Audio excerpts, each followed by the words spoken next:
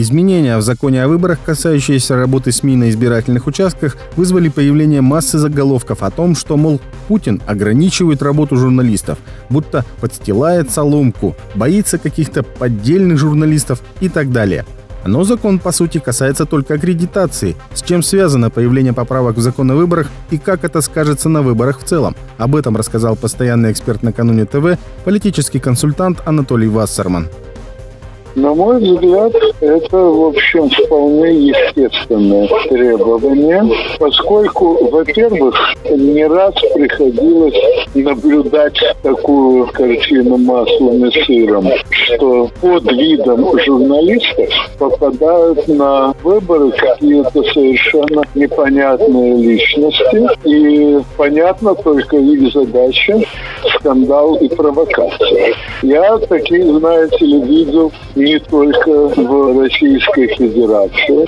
Например, на Украине уже довольно давно это практикуется, когда на выборы приходят люди, размахивая свежевыписанными журналистскими удостоверениями, и дальше довольно быстро выясняется, что они не имеют даже элементарного представления о профессии журналиста, зато имеют очень большой опыт разнобезобразных провокаций, а то и хулиганства, и очень активно пользуются этим опытом.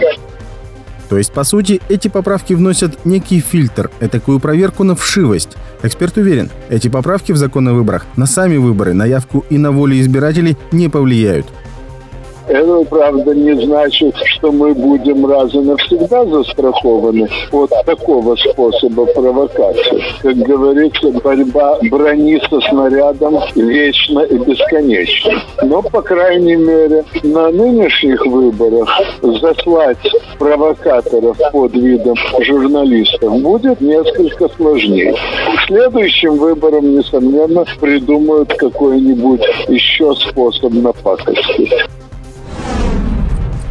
В эфире была рубрика «Экспертное мнение» специально для Накануне ТВ. Подписывайтесь на канал Накануне ТВ и смотрите другие видео из рубрики «Экспертное мнение».